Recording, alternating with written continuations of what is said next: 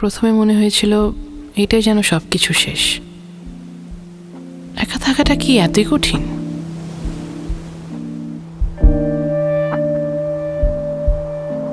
জীবনে সুখ বলে কিছু আছে, তা ভুলে গিয়েছিলাম।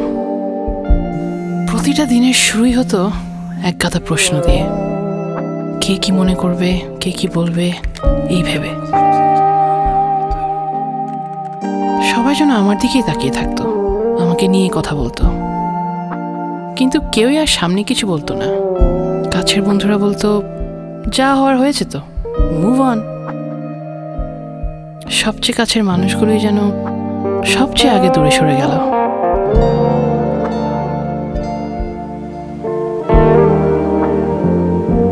কিন্তু এত সহজে হার মানলে তো অনেক আগেই হেরে যেতাম। অন্য কেউ কেন ঠিক করবে? আমার কি করা উচিত বা উচিত না? অন্য কেউ তো আর আমার জন্য থেমে নেই। তাহলে আমি কেন মুখ লুকিয়ে থাকব?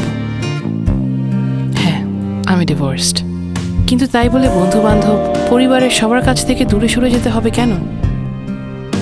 কেন নিজেকে কষ্ট দিব সব কিছু দূরে ঠেলে? আর তাই আমি ঠিক করেছি, আবার নিজেকে সুযোগ দিব। নতুন করে ভালোবাসতে হলে নিজেকেই ভালোবাসতে হবে সবার আগে।